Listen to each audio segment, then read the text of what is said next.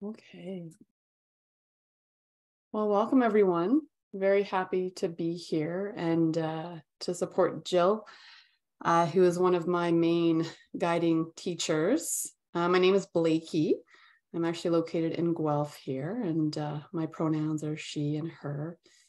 And I thought I would just give everybody just a little bit of a background about me as we begin um, our kind of gathering here together with this talk that I wanted to offer tonight around compassion karuna.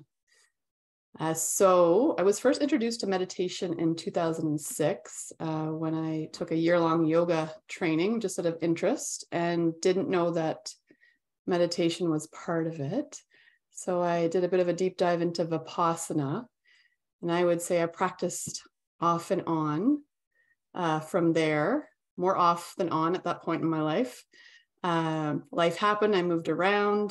And in 2013, I actually took an eight week program called mindfulness based stress reduction, um, which is a really specific interpretation of um, some of the teachings of the Dharma in a specific way. Uh, but it had a really profound impact on me when I realized how burnt out I was at that point in my life. Uh, I had two kids at that time that were quite young. I was working full time in mental health. And just the themes in the program really spoke to me and it kind of actually pushed me gently on this path to really learn more about uh, the dharma and meditation and so i actually connected with jill only about five years ago because i was trying to find a way to practice and really study the dharma a bit more in community with others um, so I found Jill just through an internet search, and I was able to actually find one of her weekly groups that she offers in Fergus at the Victoria Senior Center. So I started practicing there weekly with that group with Jill a couple years before the pandemic um, arrived on the scene for all of us. Um, but Jill supported me to do a two year community meditation teachers training program with True North Insight that we just wrapped up last year. So I am here to offer um, a bit of a reflection tonight on compassion. So, if I can ask us all if we're able to just take a moment to kind of land here together, a bit of an arriving or settling practice as we begin. And in this way, we're just starting to offer a sense of like being present with ourselves and with one another. So you might just take a moment to adjust your position in any way that you feel offers a bit more comfort if that's available to you. You might just take a moment to just gently allow your sense of sight just to move around your space.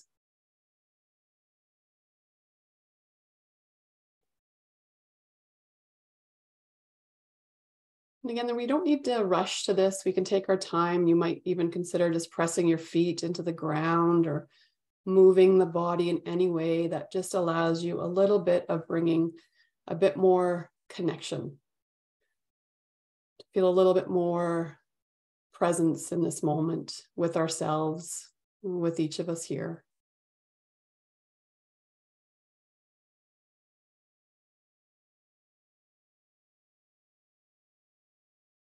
I'd like to invite you to continue this focus on bring care to your body, to yourself, to your attention, any way that is needed for our talk and our practice together. So you're welcome to now bring attention back to the screen, or you may even choose to take an eye break and let the eyes rest and just bring more attention to your sense of sound. And so again, I'm going to offer some reflections tonight on compassion. Karuna is the Pali word for this. And two specific personal ways I want to share that I, I it's helped me really conceptualize like compassion. And tonight I want to offer a specific practice around setting this intention and cultivating compassion, especially when it's really, really hard to be gentle and to care for others or for ourselves sometimes.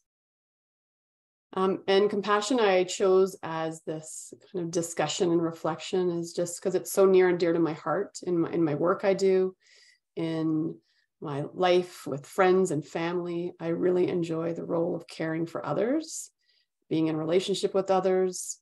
I work both as a therapist and a mindfulness teacher. And, you know, we start to, in these different ways, we come into contact with others and beings and people and all these expressions of life that we will come to know the suffering of others and to really bear witness to suffering of others.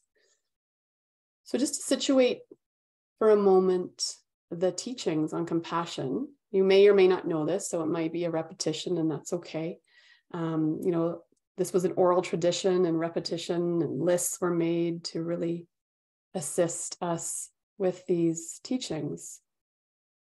And so, karuna, the Pali word for compassion, is from the Brahma Viharas, this is the Pali word too to describe these dwellings of the heart and the mind, of which there are four.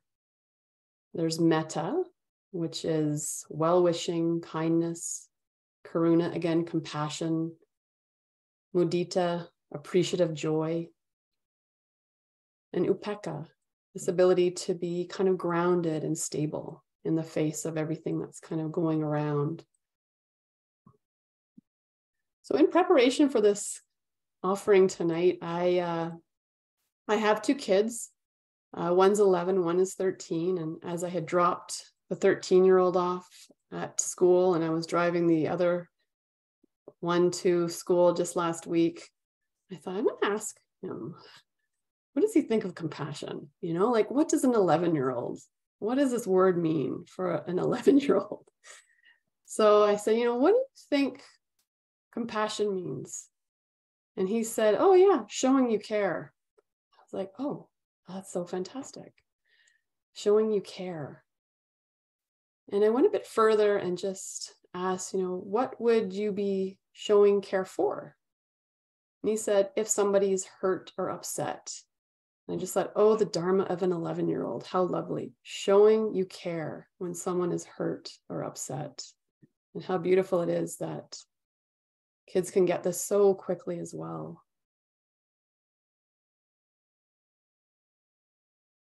So, when we're starting to kind of move into this idea of compassion, connecting, being beside, being with the suffering of another and of ourselves, we actually start to really come to, to know the first noble truth that there will be suffering in life. Another way that I like to look at it too, just this rephrasing too, and this kind of modern interpretations is know, there's no such thing as a pain free life for any of us or for any being. Not that suffering is equal, which it's not. There's very, very many unequal conditions of suffering for so many. And yet, we will all come to know discomfort, disappointment, discontentment, pain in this life. so this is like this first noble truth that this is going to be part of what we experience as being human. And so this can be, I find it a bit of a hard truth sometimes is this idea of like when we're actually experiencing or noticing or witnessing you know, the suffering, the discomfort, pain of another, the desire is always to like quickly fix it or change it or get rid of it or avoid it or distract from it. So I want to just bring us into also this idea of the second noble truth, which is so important of these four noble truths, that suffering arises when we desire when we crave, when we really want things to be other than they are. Which for me, I go, well, that makes perfect sense. Nobody wants to feel pain, to feel discomfort, to suffer. And so our automatic response is often to like deny or not see clearly, um, to avoid almost or to fix right away.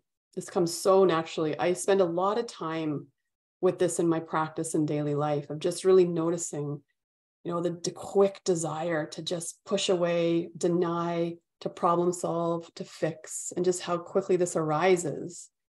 And part of practice is going, oh, okay, I really am, I'm actually bypassing what's actually arising in this moment for myself or for another that's also having an impact on me. Yeah, I often say I have a gold medal in bypassing uh, the ability to kind of touch in sometimes and go, oh, yeah, this is really difficult right now. Or seeing another's difficulty, seeing somebody struggle can just be so tight, you know, the clinging that can come with it of like wanting it to just go away, which is such a beautiful quality of to w- wish someone's suffering or pain or challenge their difficulties to to not be present to wish them to be easeful and to have peace and yet if we quickly move past it into like trying to fix and change you know we're kind of over compensating, we're moving past the idea of like, oh, what is present in this moment?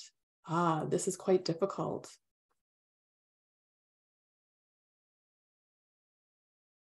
Yeah, and I, I, for myself, I really like to think of how the Dharma and the teachings show in all these moments in life, as many, many teachers do and students do of, of the Dharma and this path. And when I was really thinking about uh, this talk to to support Jill to to fill in tonight for her, um, I was thinking about too when suffering and about three years ago we as a family we we got a dog which was quite exciting my lovely dog i still have him he's quite fantastic um, but in his first year in the first few months, he actually got a really terrible condition called panosteitis that I had never heard of. And there was a lot of Googling and trying to look this up, but it means growing pains in large dogs.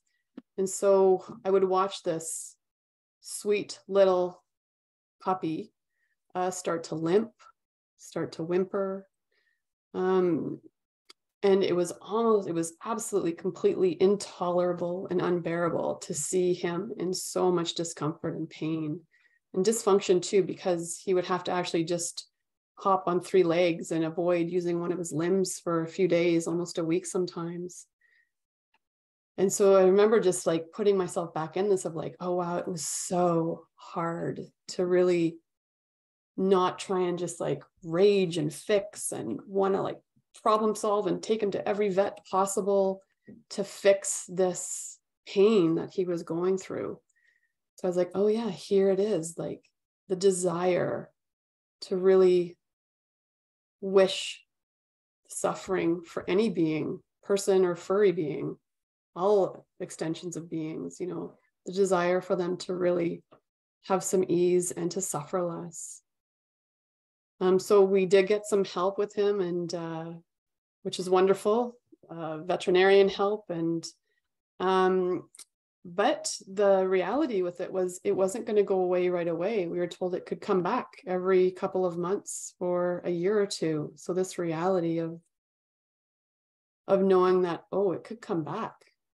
It would pass after a couple weeks, and he'd be back to healthy and walking and playful and then a couple months later, it would come back and he would be in pain and he wouldn't eat. And so part of the practice I was really trying to adopt was ah, okay, this is really difficult to see him in pain and the pain I'm feeling from from his suffering. Oh, compassion. Oh, here this is what this is. The desire for his pain to be gone or to ease in a way.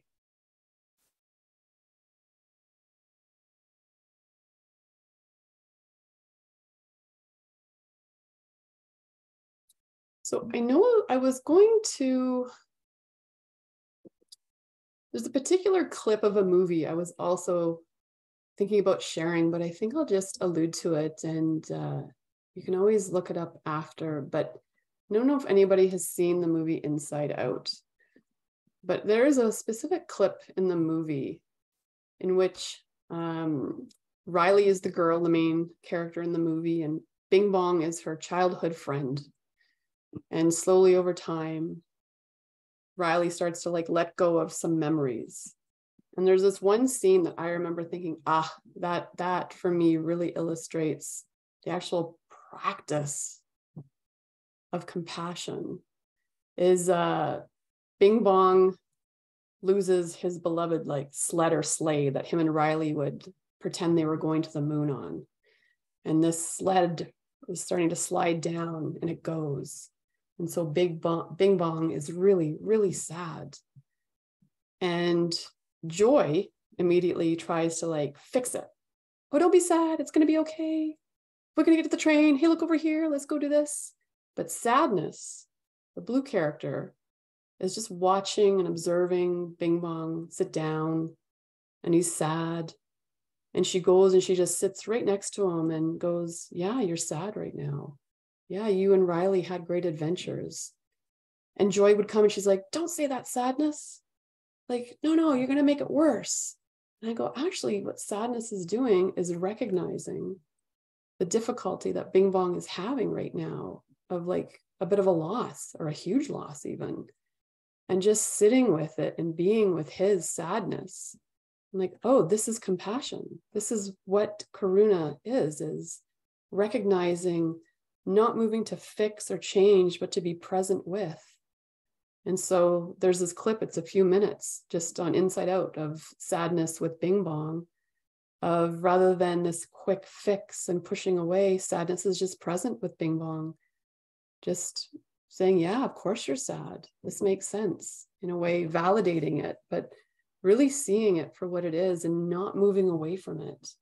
You know, this idea of we can, we have the ability to to connect into deep deep great compassion for for others including for ourselves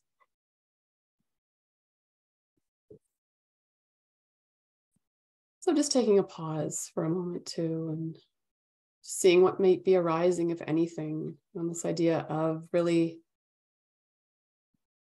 being with or beside or alongside another's suffering as well as our own. And what a beautiful thing it is to be able to do this, and yet can be so difficult. And to also recognize like how difficult it can be to really have this beautiful quality of compassion and care for others, the planet, which so desperately needs our care, for beings, when we might ourselves be suffering, you know, when we feel really depleted, when we're really fatigued, active or activated, feeling like we have nothing left. These are these moments that it may be quite hard for us to just really care for and bring it forward in this heart centered way for others. So it offers us the ability to offer our self compassion, compassion for our challenge, for the difficulty that's here for us with this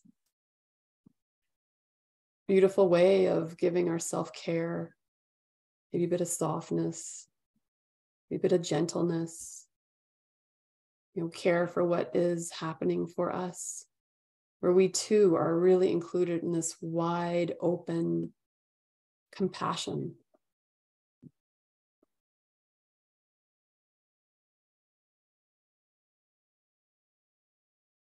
Again, we're talking about compassion, the witnessing, the observing, the suffering of another or others, and this wonderful desire and wish for it to end. But not trying to bypass what's what's present by moving right into trying to fix and push away but oh yeah this is present. So mindfulness becomes a really large part of recognizing clearly what is arising within us within our own heart and our minds and our bodies. When we come to really see and be affected by the suffering of others and ourselves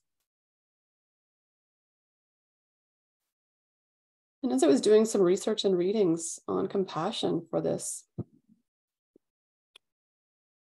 and I'm not even going to remember, which is unfortunate, one of the readings I was doing, but um, was this idea of like not having aversion and ill will in those moments to really offer and connect into compassion. And so I was playing with this for the past couple of weeks of like, okay, these moments where I actually feel resourced, where I feel rested, where I feel able. You know, there's no ill will in those moments. There's no aversion. Things feel good, or they even feel neutral. And so it's like, oh, and then this is the way I can access having compassion, radiating compassion in all directions for all beings. And also just really observing these moments when things are hard for me, you know, things are like activated. And like the difference there with like this desire is to just ease my own challenge in this moment, ease the impact of frustration that's having. So I was playing with these phrases for the past couple weeks too. Is like, okay, may may I have a little bit of ease in this moment. May I be gentle with what's here. You know, may I care for what's arising.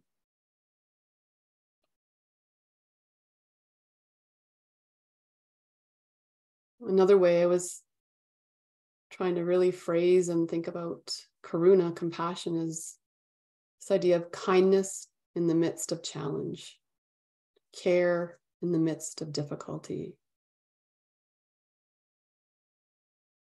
Meeting what is here, whether it's here in relation to noticing the difficulty another is having, or it's in relation to a challenge we are having, but meeting what is here with the deep heart and care of compassion.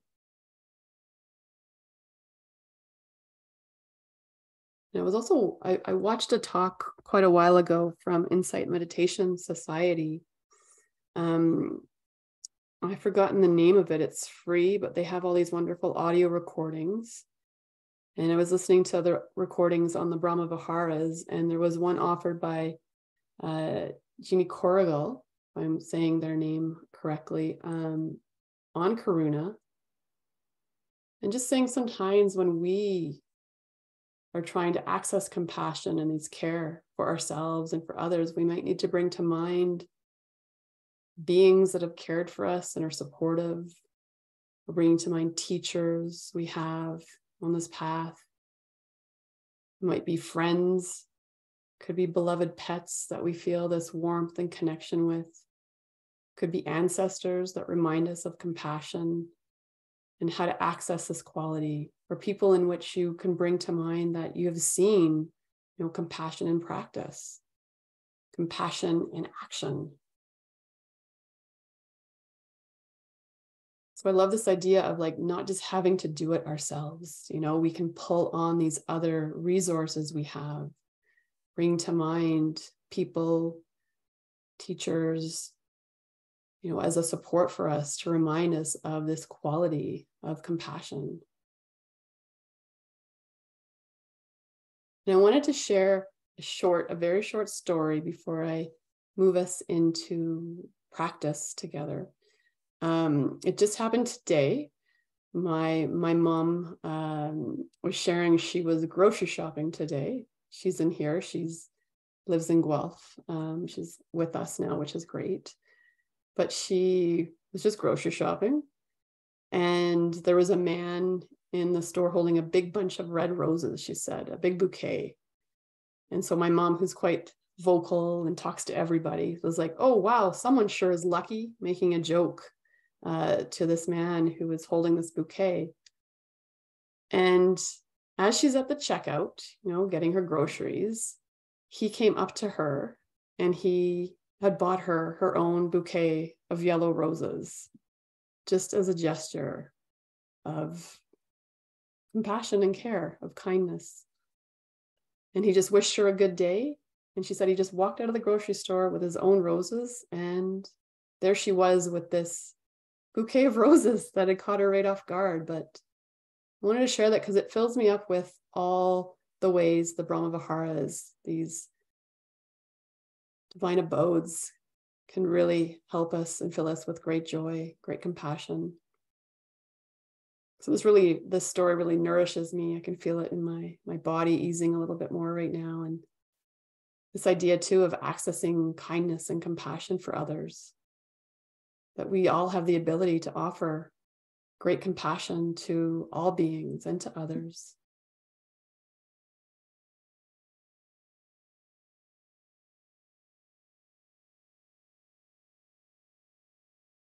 And I'm going to say this one phrase before we move into the practice I'd like to offer and guide us in is, and I think I got this from Jill, but I feel bad. It's just, it's here right now. But, you know, compassion is always a wise, skillful response to suffering. Compassion is always a wise and skillful response to suffering. So I'd like to offer a chance to practice compassion now through both phrases, but the felt sense, if we're able to access it, of compassion, care for ourselves. So this will be about a maybe about a 15 to 20 minute practice if that helps you in some way of, of how best to support your body, of how best to support your attention, you may choose a different position now, or you may just continue in the one you've chosen. But taking this time now.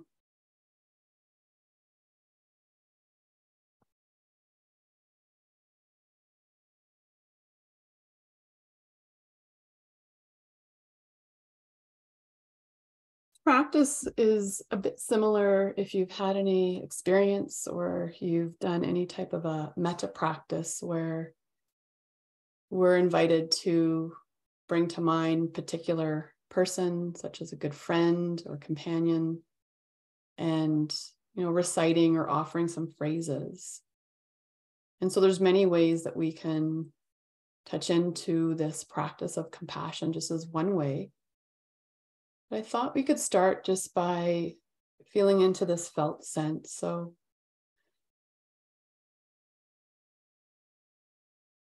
you might begin to feel into just the sense of the body right now.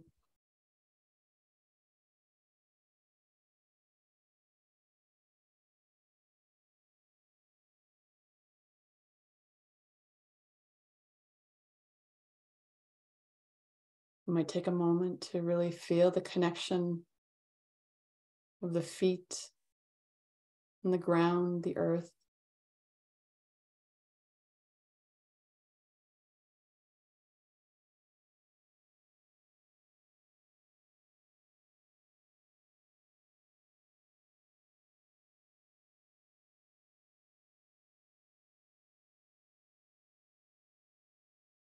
You might choose to have the eyes closed to support attention, or you might choose to have the eyes open and just focus somewhere that feels very easy and restful for the gaze to land on.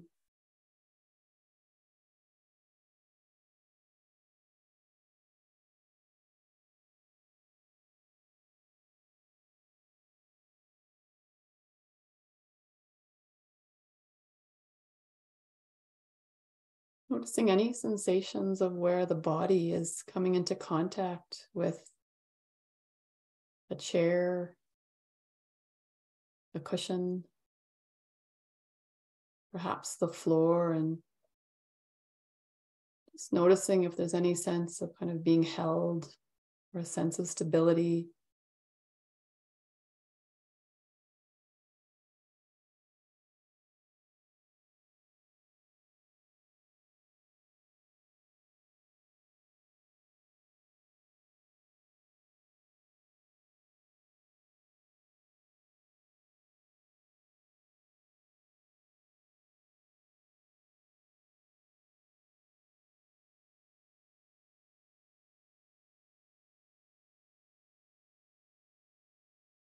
It feels available and supportive for you, you might just start to move attention onto sensations of the breath in the body.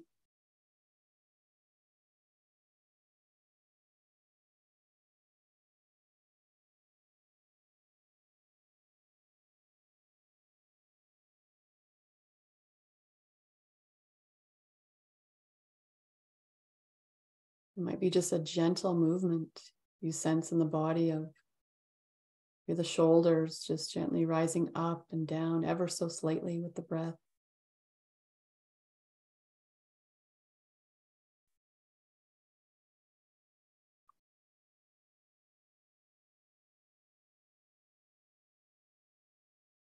the arms at the sides of the body, maybe just noticing a gentle connection as the ribs expand out to the sides, touching the arms slightly.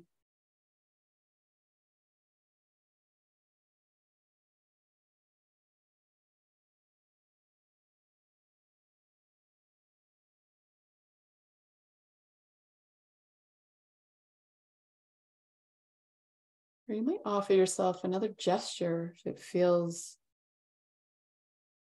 available, maybe just placing one hand on top of the other hand, gently holding and caressing the fingers, the thumbs.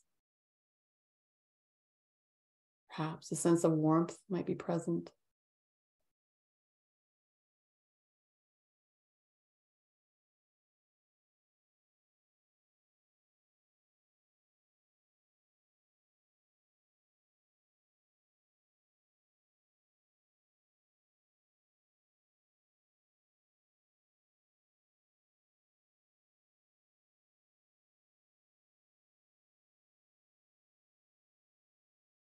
Just seeing in any way if we can connect into this sense here of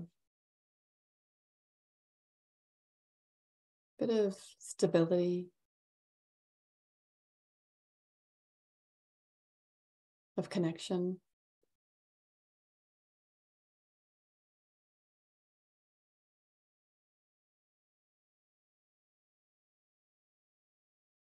Perhaps in some ways, even a bit of care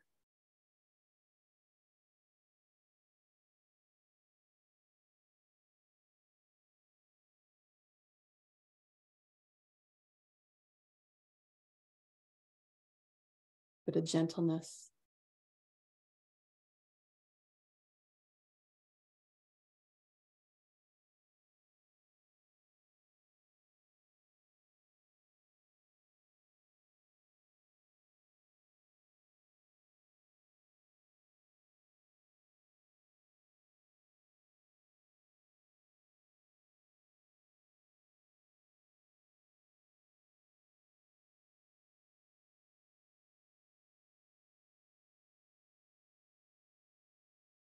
And so you may choose to actually continue practice in this way. This way of actually offering compassion, some ease for ourselves. Going to guide us though in offering some phrases as well in a particular way. And so if you'd like to join in, the invitation is to actually bring to mind a a good friend or a companion that you find is quite easy to be with. Even be a beloved pet.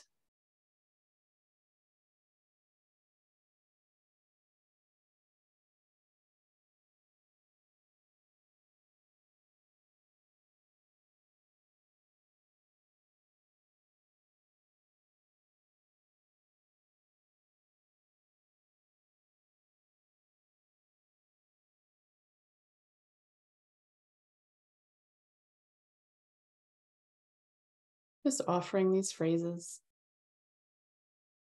May you find some ease.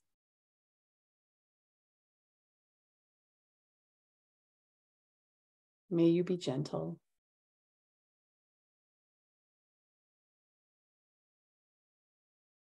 May you know you are not alone.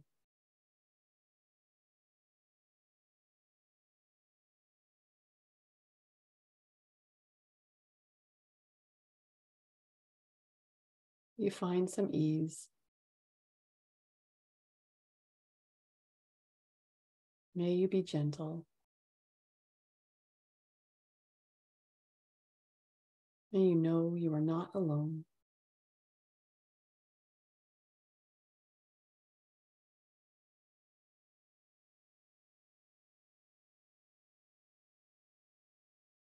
May you find some ease. May you be gentle. May you know you are not alone.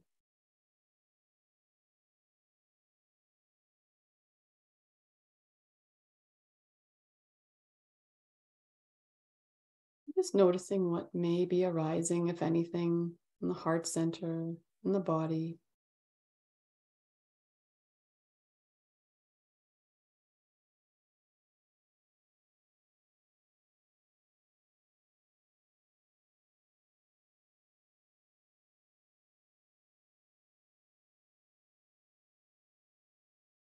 You might choose to connect back into the sense of the body's position for a few moments, or you might connect into a sense of ease somewhere in the body that feels welcoming.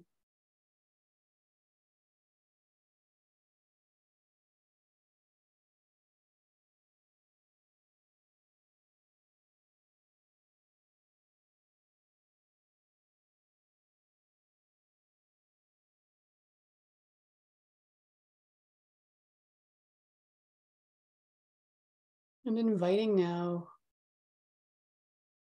into our wide open compassion practice, someone going through a hard time right now. Someone we may know or we may not.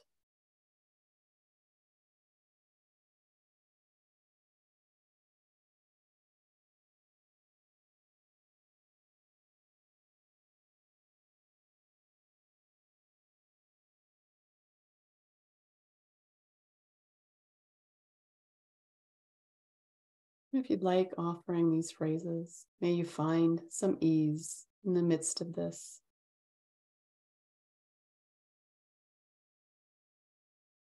May you be gentle in the midst of this. May you know you are not alone.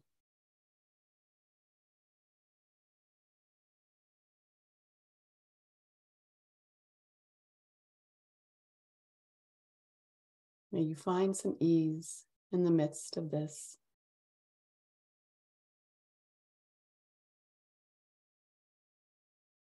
May you be gentle in the midst of this.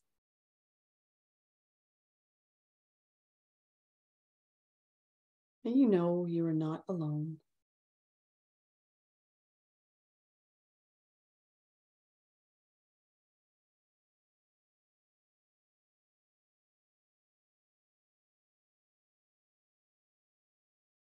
May you find some ease in the midst of this.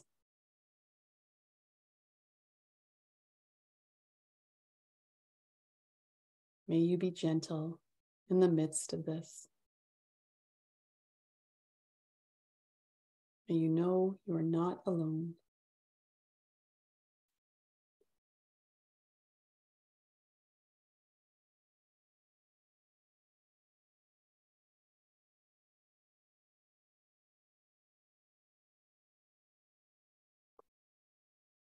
Again, we're just cultivating this felt sense or even intention of compassion,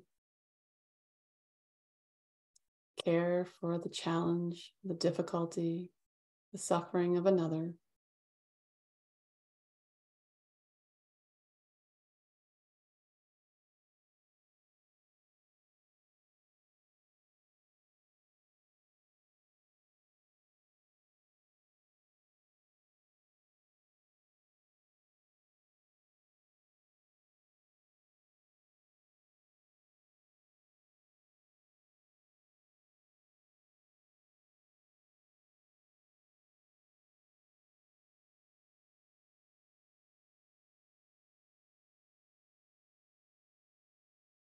Bringing to mind now ourselves. We are always included in this compassion as best as we can. Knowing that sometimes this is hard.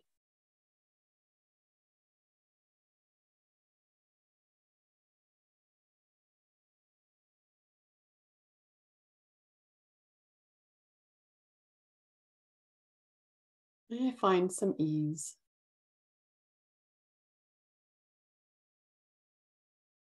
May I be gentle.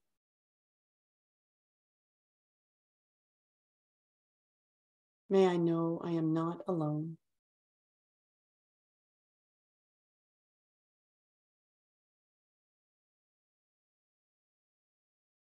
May I find some ease. May I be gentle. May I know I am not alone.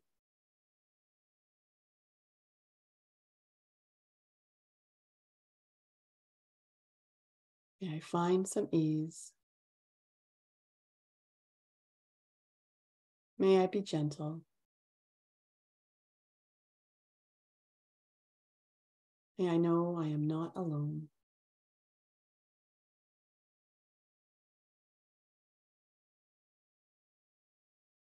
In this way, including ourselves in this great heart of compassion.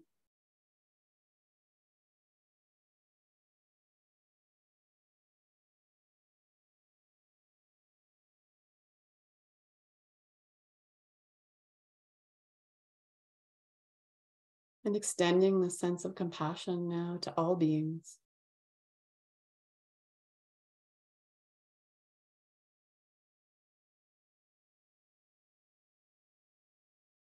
May all beings find some ease. May all beings be gentle.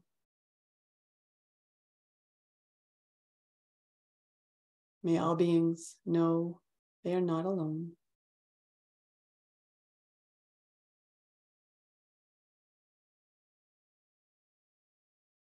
May all beings find some ease. May all beings be gentle. May all beings know they are not alone.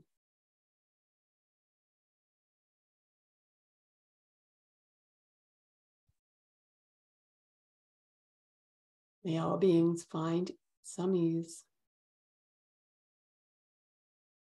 May all beings be gentle. May all beings know they are not alone.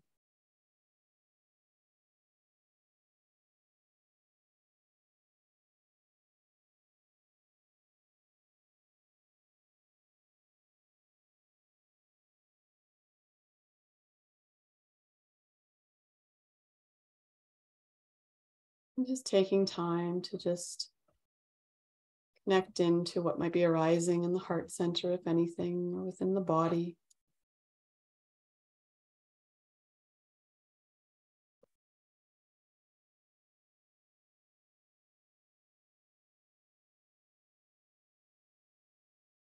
Taking a moment to see about expanding attention a little bit wider throughout the entire body.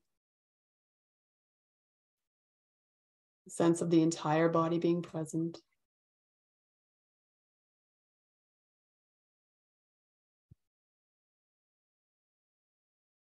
You might even consider expanding attention to include sounds.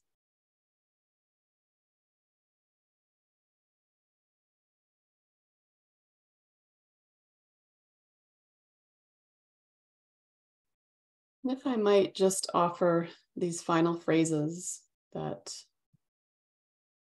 Larry Yang offers in a, um, an essay or article he wrote called In the Moments of Non Awakening, or in these moments that we find really hard. May I be loving, open, and aware in this moment if I cannot be loving, open, and aware in this moment, may I be kind. If I cannot be kind, may I be non judgmental. If I cannot be non judgmental, may I not cause harm. If I cannot not cause harm, May I cause the least harm possible.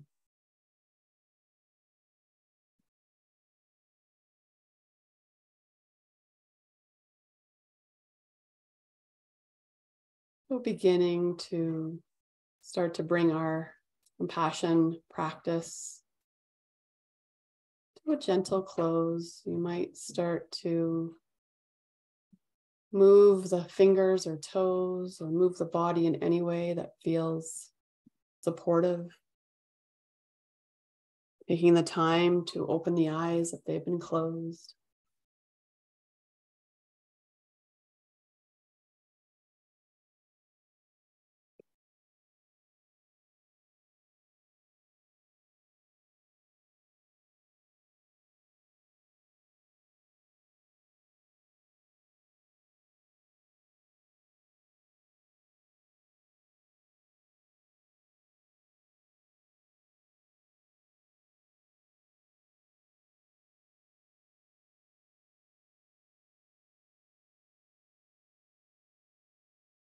We have a few minutes. If there's anything anybody wants to ask or add in any way, I want to thank you for your practice, for being here, practicing compassion.